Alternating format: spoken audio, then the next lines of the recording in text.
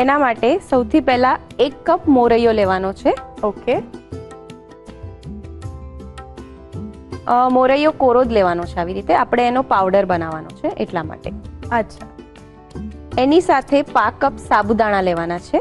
બરાબર. એ પણ આવી રીતે કોરા જ લેવાના છે. ઓકે. હવે આને એકદમ સરસ ક્રશ કરી લેવાનું છે અને એનો પાવડર જે લોટ જેવું થઈ જાય ને એવું કરવાનું છે. બરાબર છે. એટલે આપણે એકદમ જ બારીક પાવડર એનો કરી નાખવાનો છે. અચ્છા. હવે આને ક્રશ કરી લઈશું. ઓકે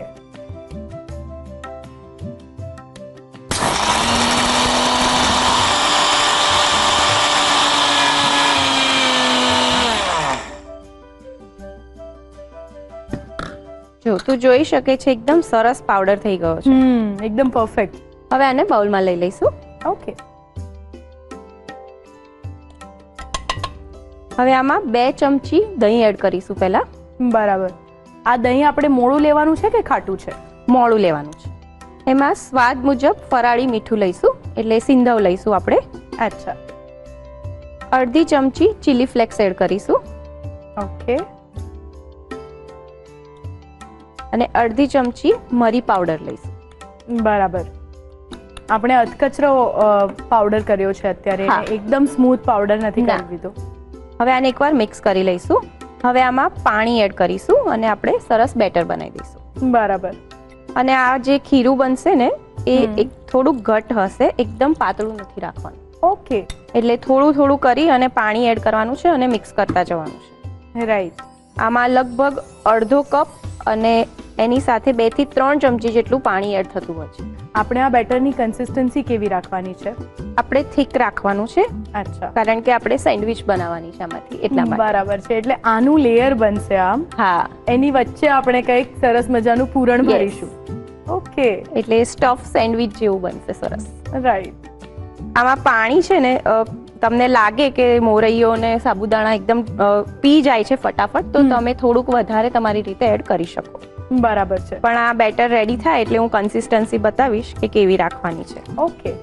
એટલે આપણે જ્યારે દાળ વડા ઉતારતા હોઈએ તેનું ખીરું કેવું જાડું હોય છે? હા. થોડું. તો એ રીતનું ખીરું આપણે આમાં તૈયાર કરીશું? દાળ વડામાં જે ખીરું હોય છે ને એનાથી પણ થોડુંક ઘટ રાખવાનું. છે એનાથી પણ થોડું ઘટ રાખવાનું. જો આ લગભગ બધું મિક્સ થઈ ગયું છે. હવે આમાં એક થી બે ચમચી જેટલું જ હું પાણી એડ કરીશ ને એટલે સરસ જે મિક્સચર છે એ રેડી થઈ જશે. ઓકે અત્યારે તમે જે રીતનું ખીરું બનાવી રહ્યા છો એ જોઈને મને એવો વિચાર આવે છે કે આ ખીરું હું થોડું વધારે ઢીલું કરું અને પછી એને આમ પેનમાં પાથરું તો હું ફરાળી ઉત્તપમ તો બનાવી જ શકું છું આમાંથી? થઈ શકે. જોયું? મારું પણ ધીમે ધીમે જે ઇનોવેશન વાળું મગજ છે ચાલવા માંડ્યું છે સાચી વાત છે. જો આ સરસ મિક્સ થઈ ગયું છે બધું. હવે આને અત્યારે આપણે રેસ્ટ આપવાનો છે. ઓકે એટલે આ ખીરું તૈયાર છે એને પંદરથી વીસ મિનિટ માટે રેસ્ટ આપીશું. બરાબર. અને જો લાગે કે પાણી ખાસું પીવાઈ ગયું છે ફરીથી ડ્રાય થઈ ગયું છે તો જ્યારે આપણે બનાવવા માટે લઈશું ત્યારે એકાદ બે ચમચી પાણી ફરીથી એડ ઓકે હવે આપણે જે અંદર સ્ટફિંગ કરવાનું છે ને એ પૂરણ જોઈ લઈએ કેવી રીતે બનાવવાનું છે. ઓકે બેથી ત્રણ ચમચી જેટલું તેલ લેવાનું છે. રાઈટ ફરાળની વાનગી છે તો તમારે ઘી અને તેલ બે ભેગું લેવું હોય તો પણ અને એકલું ઘી લેવું હોય તો પણ લઈ શકાશે. અચ્છા. તેલ ગરમ થઈ ગયું છે. એમાં એક ચમચી જેટલું જીરું લઈશું. બરાબર. એમાં એક થી બે ચમચી જેટલા તલ લઈશું. ઓકે. આ તલ આપણે અત્યારે કાચા જ લીધા છે. હા. બરાબર. આઠથી દસ જેટલા લીમડાના પાન લઈશું. રાઈટ એક થી બે જેટલા લીલા મરચાં એડ કરીશું. અને એકવાર મિક્સ કરી લઈશું સરસ. આપણે જે સાદી આલુ મટર સેન્ડવિચ ખાતા હોઈએ ને એનો જ્યારે માવો બનતો હોય ત્યારે એમાં પણ શરૂઆતમાં જીરું છે ત્યાર પછી મરચા છે અને મીઠા લીમડાનો વઘાર થતો હોય છે. તો એની સુગંધ એટલી સરસ આવે છે ને એવી જ સુગંધ અત્યારે આવી રહી છે. સાચી વાત છે. હવે આમાં બાફેલા બટાકા લઈશું. આપણે કેટલા નંગ બટાકા લીધા છે બેથી ત્રણ જેટલા બટાકા લીધા છે અને એને છીણી લીધા છે. બરાબર. એને એકવાર મિક્સ કરી લઈશું. રાઈટ હવે આમાં કાચા શિંગદાણાનો ભૂકો લઈશું. એ. પા કપ જેટલો. જેથી માવાને એક અલગ ક્રન્ચી થોડી. ચંકી ફ્લેવર મળી જાય. જીરું પાવડર છે શેકેલા જીરાનો પાવડર છે એક ચમચી એ લઈશું. બરાબર. અડધી ચમચી ચીલી ફ્લેક્સ છે એ એડ કરીશું. અને સમારેલા ધાણા છે લીલા એ લઈશું. બેથી ત્રણ ચમચી જેટલા. આમાં તમારે ધાણા મરચાંની પેસ્ટ કરી અને એડ કરવું હોય તો પણ થઈ શકે. માવાનો કલર ગ્રીન આવશે. અચ્છા. ના પણ એના કરતા આવી રીતે કોથમીરના ઝીણા ઝીણા સમારેલા પાન ખાવાની જે મજા આવે છે ને માવામાં એ તો ખૂબ જ અલગ હોય છે. મેં હંમેશા જોયું છે કે ફરાળી વાનગીઓમાં જીરાનું જે પ્રમાણ હોય છે તે હંમેશા આગળ પડતું હોય છે. સ્વાદ મુજબ સિંધવ લઈશું. બરાબર. આમાં આપણે અત્યારે એકલા ચીલી ફ્લેક્સ એડ કર્યા છે અને ગ્રીન ચીલી એડ કર્યું છે લીલું મરચું. એની જગ્યાએ લાલ મરચું એડ કરવું હોય જે ખાતા હોય એ કરી શકે ઘણા તો કોથમીર પણ નથી ખાતા હોતા. બહુ સાચી વાત છે. આ બધું સરસ મિક્સ કરી લીધું છે. અને સેન્ડવિચ માટેનું પૂરણ તૈયાર છે. ઓકે. અને થોડુંક ઠંડુ કરી લેવાનું છે. બરાબર. ફરાળી સેન્ડવિચ. એટલે આમ ઉપવાસ હોય ને એ દિવસે ફરાળી સેન્ડવિચ મળી જાય? તો ઉપવાસમાં ચાર ચાંદ લાગી જાય છે ને?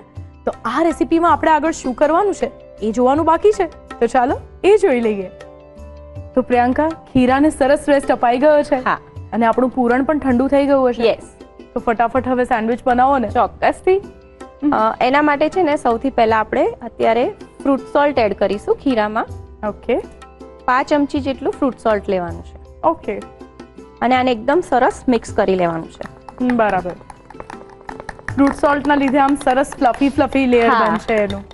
અને આને સરસ ફીણી લેવાનું છે. ઓકે આવા બેટરમાંથી ફરાળી ઈડલી બની શકે કે નહીં? બની શકે. જો એકદમ સરસ ફ્લફી થઈ ગયું છે. હા. અત્યારે આપણે જે ગેસ ટોસ્ટર આવે છે એ લીધું છે. ઓકે એને મેં અત્યારે તેલથી ગ્રીસ કરી લીધું છે સરસ. બરાબર. હવે આપણે જે મોરૈયાનું મિક્સચર રેડી કર્યું એ. પહેલા આપણે પાથરીશું. ઓકે આશરે બેથી અઢી ચમચી જેટલું મિશ્રણ આપણે લઈએ છીએ. હા લગભગ અઢી ચમચી જેટલું આવી જશે. અચ્છા. અને આવી રીતે એને પાથરી દેવાનું છે. ઓકે. બધી જગ્યાએ એકદમ એક સરખું પથરાઈ જવું જોઈએ. હા. અને બહુ જ જાડું લેયર નથી કરવાનું કારણ કે અત્યારે હજી આપણે અંદર બટાકાનો માવો એડ કરીશું. અચ્છા. અને ઉપરથી ફરીથી આપણે આ મિક્સચરથી કવર કરવાનું છે. ઓકે. એટલે ટૂંકમાં આપણે ત્રણ લેયરની જગ્યા રાખવાની છે. હા. તું થોડી હેલ્પ કરી દે ને આ પકડ ને સેજ ચોક્કસ. એટલી સરસ સેન્ડવિચ ખાવા મળતી હોય તો હું બધી હેલ્પ કરું. હવે આપણે જે બટાકાનું પૂરણ રેડી કર્યું હતું એ વચ્ચે મૂકી દઈશું. ઓકે. અને એને હલકા હાથે જ તમારે મૂકવાનું છે. બહુ જ વધારે પ્રેસ નથી કરવાનું નહીં તો જે મોરૈયાનું લેયર છે એની અંદરમાં આવો જતો રહેશે. અચ્છા ઓકે. એટલે એકદમ હલકા હાથે કરવાનું. આપણે એ લેયરને તૂટવા પણ નથી દેવાનું. હા. આવી રીતે વચ્ચે બધી સાઈડમાં મૂકી દેવાનું છે. ઓકે. આ પણ લગભગ બેથી ત્રણ ચમચી જેટલું એડ થશે. અચ્છા. હવે આની ઉપર ફરીથી આપણે જે મોરૈયાનું મિક્સચર રેડી કર્યું હતું એ એડ કરીશું. ઓકે. એટલે આ જે બટાકાનો માવો છે એ બધો કવર કરી લેવાનો છે. બરાબર. જો આવી રીતે પાથરી દેવાનું છે. અચ્છા. ટૂંકમાં આપણે માવાને સરસ રીતે કવર કરી. દેવાનો છે. પણ એ ધ્યાન રાખવાનું કે આ જે કિનારી છે એનાથી બહાર ના આવી જાય તમારું જે હા. ને બધું છે ને એ. એટલે એ ખાસ ધ્યાન રાખવાનું છે. રાઈટ હવે આને આપણે બંધ કરી દઈશું પહેલા. ઓકે ધીમે રહીને સરખી રીતે આવી રીતે બંધ કરી દઈશું. અને એનું લોક છે એ તમારે લોક કરી દેવાનું છે. બરાબર. હવે ગેસ ચાલુ કરીશું. ઓકે હવે આને છે ને મીડિયમ ફ્લેમ પર આઠથી દસ મિનિટ માટે બંને બાજુથી સરસ કુક કરી લેવાનું છે. એટલે સરસ ક્રિસ્પી થઈ જશે. સેન્ડવિચને આપણે આઠથી દસ મિનિટ માટે કરી લીધી છે. એકવાર ચેક કરી લઈએ. ઓકે. જો તું જોઈ શકે છે સરસ શેકાઈ ગઈ છે. ગેસ ઓફ કરી દઈશું. સરસ શેકાઈ ગઈ છે.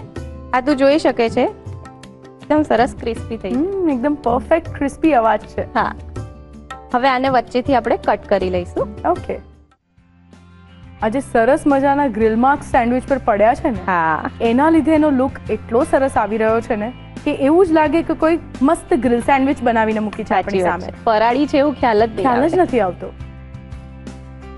હું તો આને ફરાળી સેન્ડવિચ કરતા વિશેષ ફરાળી ગ્રીલ સેન્ડવિચ કહેવાનું પસંદ કરીશ કારણ કે ખરેખર સરસ લાગી રહી છે જો તું જોઈ શકે છે એકદમ સરસ કુક થઈ ગઈ છે. યસ અને જે આપણે માવો ભર્યો છે એના લીધે લુક પણ સરસ આવી ગયો છે. યસ હવે એને આપણે ફટાફટ સર્વ કરી લઈએ. ઓકે